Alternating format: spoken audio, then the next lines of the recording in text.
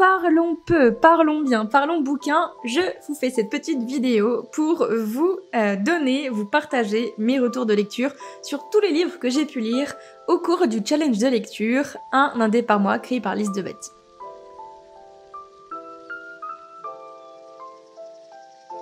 Aloha, moi c'est Abby et bienvenue sur la chaîne YouTube du portail de l'auto-audition. Comme je vous le disais en intro, Aujourd'hui, je vais vous partager des retours de lecture sur 12 livres que j'ai pu lire au cours d'un challenge de lecture qui a été créé par Lise de Baptiste. Si vous voulez en savoir plus, en vrai, j'ai tout expliqué sur ce challenge dans la toute première vidéo où je vous présente le challenge, où je vous présente ma pile à lire. Donc sans plus tarder, je vais vous dévoiler euh, mes avis, mes retours, ce que j'ai aimé, pas aimé dans tous les bouquins sur ces 12 livres que j'ai pu lire sur euh, un an. Il y a eu un petit peu de tout au niveau des genres de livres que j'ai pu découvrir donc euh, j'arrête de parler, je vous présente les livres un par un. Je vais vous mettre en même temps, euh, pour pas vous mettre ma tête dans toute la vidéo, parce qu'on s'en fout un peu, là on va parler bouquins, donc je vais vous mettre à chaque fois des images d'illustration en fond, euh, le temps que je vous donne mon avis sur ce que j'ai aimé ou moins aimé sur tous ces livres. C'est parti dans Jemae de Audrey, on plonge dans une aventure fantastique où la magie des gemmes est formellement interdite. Des conflits géopolitiques mais aussi relationnels vont éclater et perturber les vies a priori toutes tracées de nos personnages. Leur destin, leur destin, leurs intestins, leur destin vont voler en éclats.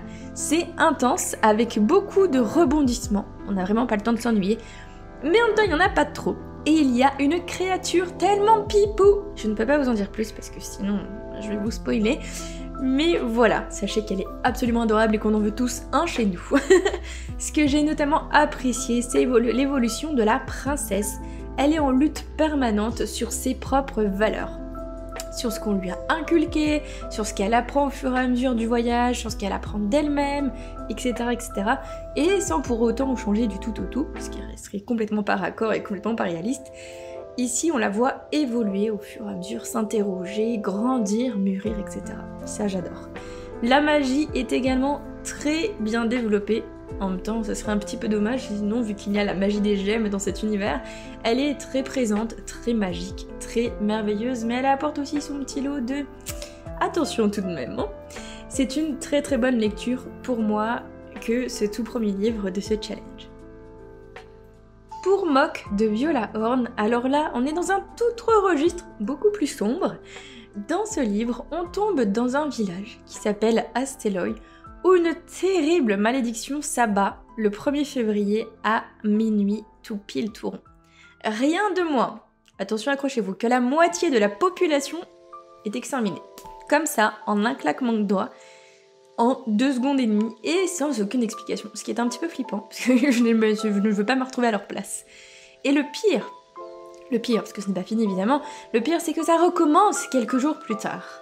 Les survivants, qui vont se retrouver quand même de moins en moins nombreux au fil des pages, vont alors essayer de trouver l'origine de cette atrocité, de cette malédiction horrible, tout en essayant, ou pas, hein, de garder moralité et raison. Donc évidemment, il y a plein de déviances qui euh, naissent par-ci par-là, tandis qu'il y en a qui essaient de lutter pour leur survie, de comprendre ce qui se passe pour pouvoir enrayer la malédiction pour pas que euh, ce village soit tout simplement enrayé de la carte. Une très chouette découverte ici si on veut se faire peur. En tout cas, j'étais très contente d'entrer dans ce livre et aussi très contente d'en sortir. pour Oracle, où une atmosphère mêlant religion, meurtre en série et entité démoniaque nous attrape de, toutes les parties de notre corps, en vrai j'ai eu du mal à rentrer dans l'histoire. Que d'un chapitre à l'autre, on passe de personnages fondamentalement différents, sans lien apparent. Du coup j'ai eu du mal à m'attacher à eux, à comprendre le lien, à savoir où est-ce que l'auteur voulait nous mener, etc et de plus la forte présence, faut dire, de la religion, parce que voilà, c'est quand même assez. Alors, c'est pas religieux du style, euh, il y a des versets, euh, style biblique, machin, tout ça, des cérémonies, blablabla. Mais voilà, il y a, y a quand même euh, ce combo religion, meurtre en série entité démoniaque qui sont très présents. Enfin bref, la forte présence de la religion m'a un peu perturbée, puisque bah, je ne suis pas ce qu'il y a de plus fanatique dans ma vie, de ni très fan, sans jeu de mots, de ce genre de thème. Du coup, j'ai eu du mal à rentrer dedans. Mais en vrai, les connexions se font petit à petit Et quand on commence à comprendre ce qui relie tel et tel personnage, alors là c'est l'illumination. Bon là d'accord, c'est un petit jeu de mots foireux. Divine. Et, cette illumination-là, cette compréhension, elle est franchement très appréciable et très agréable et elle nous retourne un petit peu euh, le cerveau. C'est une enquête où le paranormal, du coup, avec les entités démoniaques, s'invite, tandis que des personnages voient leur dessin, leur vie, leur existence mise à mal dans tous les sens, bien malgré évidemment. Donc un début difficile pour moi pour Oracle, mais toutefois, il faut dire que la plume est très acérée, très prenante finalement quand on se laisse quand on se laisse entraîner dans cette histoire, et crue aussi, une plume très crue, ce qui fait que voilà, j'ai finalement apprécié ma lecture. C'était très mal parti, mais finalement, une fois que j'ai été captivée, c'était génial, euh, j'ai adoré, et le dénouement, je ne vous en parle pas. Pour Brassard Solas de Grian, on a de la magie, des cauchemars, des démons, des créatures. Enfin bref, c'est un endroit qui ne donne pas franchement envie d'entrer en vacances quand on découvre cet univers. Donc dans cet ouvrage, on rencontre Ethan, frêle jeune homme qui, souffre pardon, de solitude mais aussi de cauchemars. Ça, j'ai plutôt apprécié parce que du coup, on s'identifie très facilement à lui. Voilà, des cauchemars, des cauchemars. Aujourd'hui, tout le monde en fait. On peut être plus ou moins seul. Enfin bref, je me suis facilement prise d'amitié pour ce personnage. Et il quitte très brutalement son monde, hein, euh, vraiment une coupure très nette, euh, le mythe du kidnapping, faut dire, similaire au nôtre. Donc voilà, au début, il est dans un monde qui ressemble au nôtre, donc on est vachement, on s'identifie du coup vachement, c'est très facile. Et puis là, bam, euh, grosse séparation, kidnapping, pour être jeté dans un tout autre univers où la magie règne, franchement, complètement partout. Pas que de la bonne magie, hein, bien sûr. Et il se trouve qu'à son arrivée à Brassard Solas, euh, son arrivée n'est franchement n'est pas anodine parce qu'il est descendant de tout un héritage très très très particulier. J'ai bien aimé l'univers en général, sa construction, ses personnages, sa magie. J'ai moins apprécié euh, l'aspect prophétique, le trope de la prophétie, de euh, l'élu qui a plein de pouvoirs, machin, qui apprend relativement vite. Enfin voilà.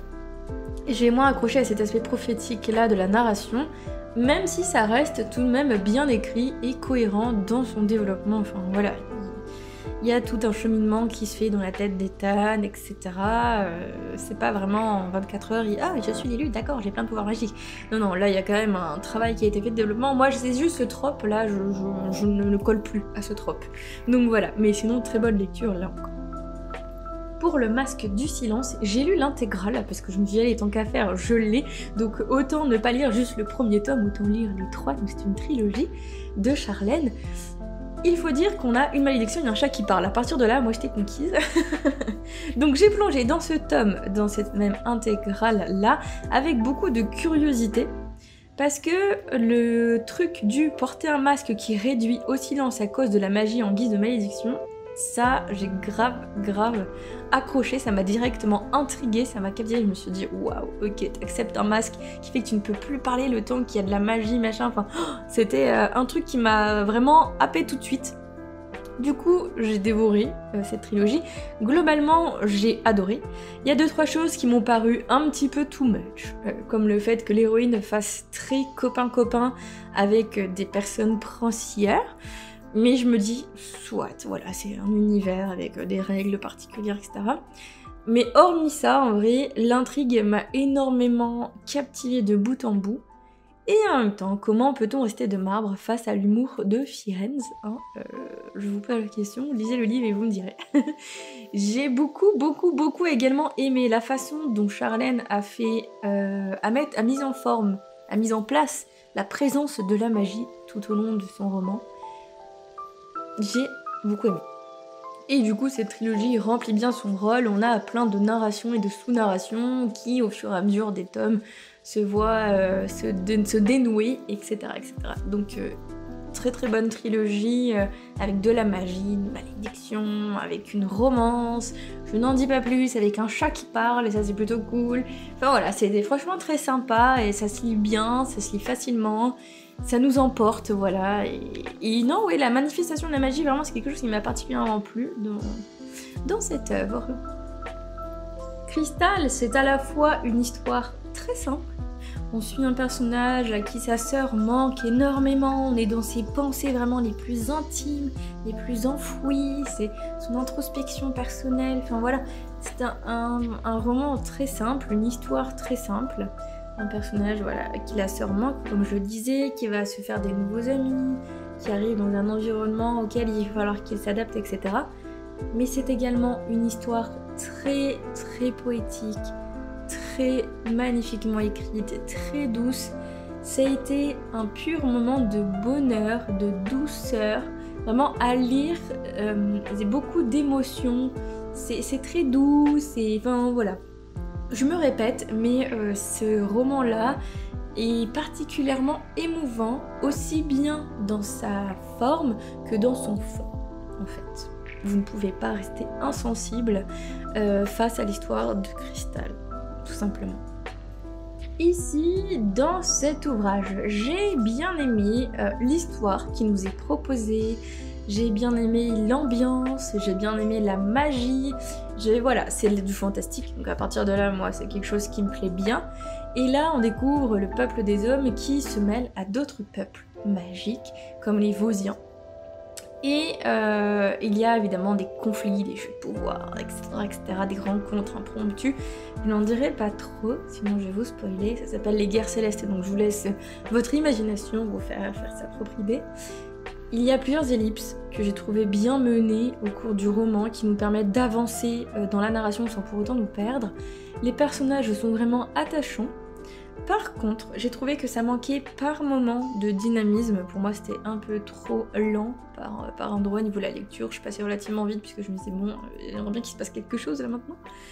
Dans le rythme global, voilà, je trouvais que ça manque, c'était parfois creux. Mais ça reste malgré tout une bonne découverte, une bonne lecture fantastique. Le parfum du mimosa, c'est une histoire toute simple, toute mignonne, toute douce, pleine de bons sentiments qui ne demande qu'à éclore. En vrai, c'est ce roman-là, c'est un roman bonbon qui fait du bien, qu'on a envie de lire juste pour se faire du bien. Voilà, c'est vraiment, euh, c'est ça, c'est une histoire euh, toute qui pourrait arriver en fait à n'importe qui, qu'on a envie de, faire partie de tous ces petits personnages. Ils sont vraiment très très très attachants, leur histoire est, commune, elle est euh, banale en fait, mais racontée d'une manière très douce, avec beaucoup d'émotion, beaucoup de tendresse. J'ai adoré rencontrer les marguerites, j'ai adoré voir la chute sur le renouveau de Laura, j'ai adoré rencontrer Vincent, enfin j'avais envie d'être avec eux, de leur tenir la main et leur dire oui, moi aussi je veux partager vos émotions avec vous. C'est une lecture qui m'a fait beaucoup beaucoup de bien, qui met du baume au cœur et euh, qui vraiment c'était une vraie bulle de tendresse et d'amour et de très bons sentiments. Voilà, n'hésitez pas, si vous avez besoin de ça, c'est ce livre qu'il vous faut les terres de Kemet. Ah, les terres de Kemet, tout à fait. Euh, là, l'univers ici, ici, l'univers ici est très riche et très très très très très riche. Ça c'est indéniable. On a, on ressent qu'il y a beaucoup de travail de la part de l'autrice derrière euh, toutes les figures égyptiennes qui nous sont présentées, derrière toute la magie, derrière toutes les légendes, etc. Par contre, j'ai trouvé euh, que les descriptions étaient parfois un peu trop lourdes et un peu trop nombreuses et trop denses. ça faisait vraiment presque des pavillons encyclopédiques. Alors moi j'adore ça, les descriptions. Donc là, si vraiment j'ai trouvé que c'était un peu too much, c'est qu'il y en avait euh, un peu trop pour moi. Malgré tout, euh, j'ai beaucoup voyagé entre tous ces dieux, ces déesses, cette magie absolument incroyable, antique, etc. Mais malgré ça, le fait d'avoir euh, rencontré toute une culture, d'avoir suivi des personnages, etc., je n'ai pas non plus été complètement captivée.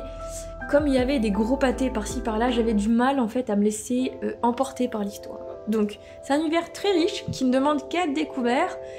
Mais voilà, moi je l'ai trouvé euh, trop dense par moments, ce qui fait que ça m'a empêché d'être pleinement de quand même une chouette lecture, faut dire, mais j'ai eu du mal à être vraiment captivée de bout en bout même si, encore une fois, je le répète, la plume est très euh, riche, très intéressante. L'univers est très bien construit, ça c'est indéniable. Alors, cordage, j'ai été particulièrement surprise parce qu'au vu de euh, la couverture, j'avais une première idée. Vous voyez, faut pas jamais suivre ces idées préconçues. Mais en voyant la couverture, je me suis dit, tiens, ça a l'air d'être un livre qui est euh, doux, euh, qui va nous raconter une histoire euh, toute mignonne. Pas du tout On est très vite embarqué dans une, mon- dans une atmosphère très pesante, de cordage, de ce petit bled où on n'a pas envie d'y mettre les pieds, auprès de la jeune Ellie. Et Ellie nous fait rentrer dans euh, son brouillard, euh, dans ses secrets, etc. En fait, elle est en quête de sa propre histoire familiale. Elle a envie de lever le voile sur un peu tous ces non-dits, toutes ces histoires qui traînent depuis des années et des années, de tout ce passif qu'elle cherche à creuser pour savoir ce qui s'est passé, etc. Je. Ici, c'était une bonne lecture, surprenante du coup, parce que je m'attendais pas à ça, vraiment que ce soit si, euh, si intense en fait, si prenant vraiment au niveau des tripes. Toutefois, euh, je n'ai pas été particulièrement impactée par euh, les révélations finales. Voilà, parce que je les avais devinées Euh, du coup, c'était un peu dommage, il n'y avait pas cet effet euh, de surprise, entre guillemets, de dénouement. J'avais pas l'impression qu'il y avait un vrai, un dénouement aussi, il y avait un dénouement. Mais je n'ai pas. Ça ne m'a pas touchée parce que en fait, je l'avais déjà deviné depuis, depuis quelques pages auparavant, avant d'arriver à la toute fin. Mais malgré tout, euh, j'ai frissonné. Voilà. Pour Braqueur, il faut dire que côté polar, ce roman nous donne tout ce qu'il faut. On a tous les ingrédients. On a une enquête, une atmosphère tendue, des suspects, des agents sous, pression, sous tension, des rebondissements, euh, des indices qui nous mènent à des pistes. En fait, c'est pas ça du tout. Euh, L'autrice joue vachement avec nous, hein, clairement, elle le fait bien. Un récit qui est également attendrissant, vraiment, euh, qui met aussi la lumière sur différents types de relations. Et là, j'ai apprécié, parce qu'on a aussi bien les parents, la sœur, le protecteur commissaire, ou encore la petite amie imprévue. Enfin, c'était bien écrit et c'était pas que du polar 100% dur, froid, neutre, glacial, etc. Voilà, il y avait un peu d'humanité dans tout ça quand même. J'ai apprécié globalement la lecture, mais je n'ai pas été plus emballée que ça, ni par la coïncidence de certaines scènes. Euh, le hasard a, trop bon dos pour moi, euh, à mon goût, euh, à certains moments, et ni par la fin, il faut dire. Malgré ça, ça reste appréciable à lire. Voilà, si on recherche une enquête policière bien ficelée, bien écrite et avec des personnages vraiment, je vous ai dit, avec une humanité vraiment présente. Alors là, pour Midnight City, waouh, vraiment, je pense que c'est mon coup de cœur euh, des 12 livres que j'ai pu lire au cours de ce challenge. Parce que je suis sortie de ce livre, déjà, je n'avais pas envie de sortir de Midnight City. Et j'étais en mode waouh. Le parallèle entre la vie de Samuel et la vie dans, Midnight City, c'était intensément magique. J'étais jalouse parce que moi aussi je voulais aller là-dedans, je voulais fouler les pieds de, toutes ces belles rues, voir cette grande horloge, etc. J'ai dévoré vraiment chaque page, chaque chapitre avec la hâte, l'empressement de lire la suite. En même temps, je me freinais parce que j'avais pas envie de le finir trop vite. J'ai adoré l'ambiance, j'ai adoré les relations entre les personnages, j'ai adoré le mystère autour d'Adam Remington, j'ai adoré tout cet amour pour l'écriture qui vibre dans chaque mot, euh, dans chaque phrase, dans chaque paragraphe de ce roman. C'est un roman qui est plein de passion et qui m'a passionné. Franchement, vraiment, c'est mon coup de cœur de, de ce challenge. Et voilà, j'espère que ça vous donne.